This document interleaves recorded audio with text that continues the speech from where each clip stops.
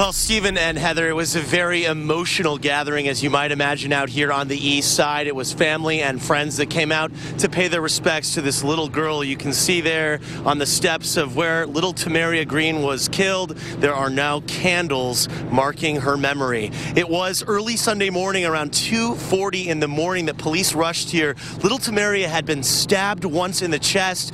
Police sources believe that it was indeed her mother who is responsible for this.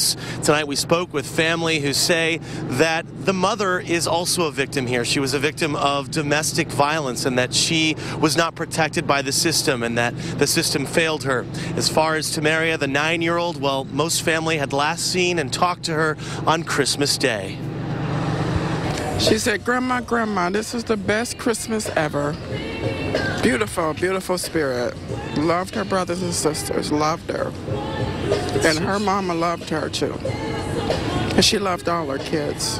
I just want the other kids back, you know. And if you guys could pray for the other kids, I would truly, truly appreciate it.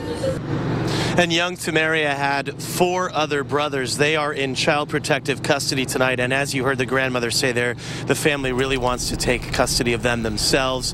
As far as CPS, sources tell us they were involved in this family. Uh, it's not clear exactly how many cases were open, but certainly they were aware of a, a certain very serious situation that was going on here. We'll have more on the story tonight on Action News at 11. Tom, Reporting live on East Loudoun, I'm Tom Wade. Back to you.